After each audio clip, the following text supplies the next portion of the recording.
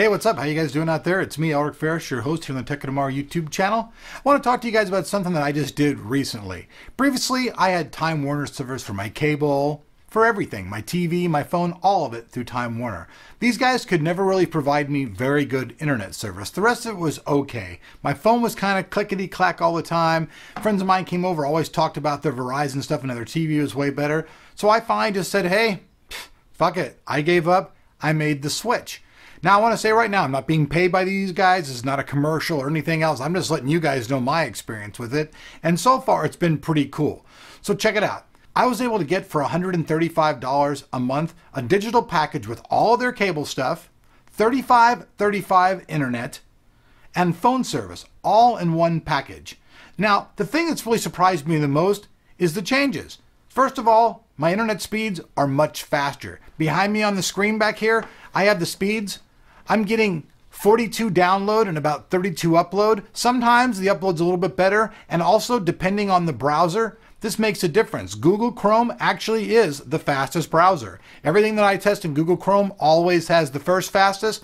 After that comes the Firefox, and then Safari. Wow, Safari sucks. I feel sorry for my Mac friends who stick with that Safari shit because that's a crappy one. That's the worst one. Speeds actually slow down to like half using that browser. That's just amazing. So maybe you don't know that using a browser can make that much of a difference, but hey, it actually does. So these are the benefits I've seen so far. Another thing, games.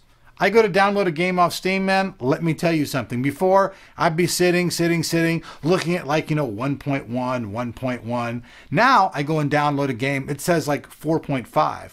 5 megabytes a second. So downloading a game is almost like that quick now. It's just unbelievable how fast it is. When I go out and I start scrolling through my TV channels, all of my channels are much clearer and I have an abundance more of channels to view. So that's way cooler. I've got movie channels, I've got sports channels, I've got all that shit. I've got some Supreme Gold package, you know what I'm saying? And my phone, always previous in the past, my phone had a clickety clack it. I'd be on it, be like clickety clack, clickety clack, clickety clack. Maybe it was like the IRS wiretapped me or some sort shit. That's why I changed the service. No, I'm just kidding. that sounds funny though, anyways. Now when I talk on my phone, it's like crystal clear. It's like I'm talking to the person right next to them. But so far, my experience actually has all been pretty positive. Now there are a couple of negative things. For one thing, when you get your internet box and the guy comes over and he tries to tell you all this stuff to set up your home network, he's going to give you a bunch of passcodes and stuff stuff that are totally irrelevant. Make sure that if you have the guy come out to your house, that he sets up your wireless network himself so that you can create all of your own passcodes, all your own logins. Otherwise, the guy will leave and write a bunch of non-essential stuff on, which will get me to the next point that's negative. Phone service. Yeah, I waited for like 25 minutes on the phone holding for these fuckers when I wanted to get a hold of them for tech service. Once I got a hold of them, I gotta say it's A plus service, but I was on hold a long time. Once I did get a hold of them, my entire network problem and everything I had resolved within like a couple of seconds. So everything's good.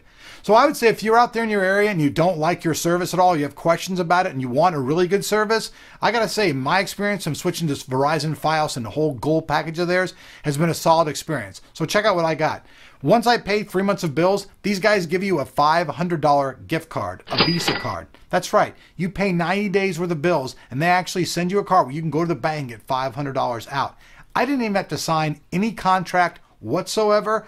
And I've got their super package at $130. So overall, personally, I'm very happy that I made the switch from Time Warner over to Verizon Cable. Some people may not give a shit about this at all, but for the people out there who have been thinking about switching and are like in the middle of the, you know, the kind of the teeter totter going, fuck, should I do it? I would. I've done it. And I would never look back ever again. See you guys here on Tech tomorrow.